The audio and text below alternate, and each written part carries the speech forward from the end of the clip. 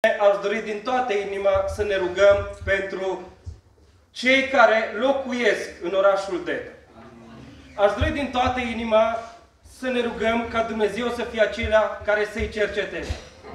Suntem așezați în mijlocul acestei localități cu un scop bine definit.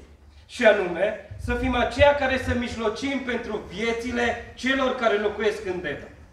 Și îmi doresc din toată inima ca Dumnezeu să fie acela care să lucreze.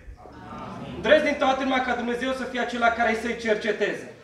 Suntem aici, dragii mei, așezați în mijlocul acestor oameni cu scopul acesta de a-i chema, de a-i îndrepta, de a fi lumini pentru ei, ca ei să audă despre Dumnezeu. Nu se poate să fim credincioși, cei care am încheiat legământ cu Domnul și ne considerăm credincioși, și să nu ne pese de cei care în continuare trăiesc în păcat. Nu se poate ca noi să spunem sunt mântuit, dar nu, nu îmi pasă de cel care continuă să trăiască departe de Dumnezeu.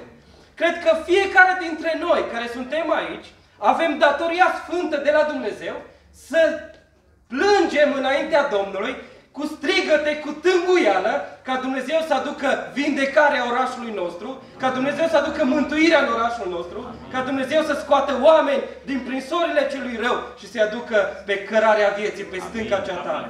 Dau seama uneori că am impresia că am semăna, în loc să semănăm cu Petru, semănăm cu, cu, cu Iona. Iona acela știa că orașul Ninive este pedepsit datorită păcatului. Și eu ce am făcut când afla că Dumnezeu pedepsește Ninive pentru că stătea departe de Dumnezeu, păcatele lor, ninivenilor erau foarte înalte înaintea lui Dumnezeu și Dumnezeu a zis, voi pedepsi orașul acela, nu te vestește. Și el a așteptat, Doamne, dacă vrei Tu să pedepsești acum Ninive super, eu bine, mă duc undeva pe munte, stau acolo să privesc prăpădul cum se va năpusti asupra păcătoșilor. Și îmi dau seama, dragii mei, că această abordare nu este bună. Fie ca Dumnezeu să ne ajute să tânguim să ne stânguim, să ne rugăm lui Dumnezeu. Mă duc aminte de Petru, acela care a păcătuit.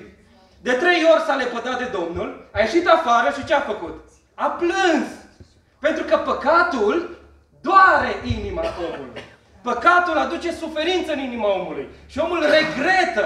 Dacă îi pare rău cu adevărat pentru ceea ce a făcut, va regreta profund și va spune, Doamne, numai la Tine este iertare. De aceea, dragii mei, haideți să insistăm în rugăciunea aceasta ca Dumnezeu să se atingă de inima locuitorilor din orașul nostru și fie ca Dumnezeu să lucreze așa cum știe El.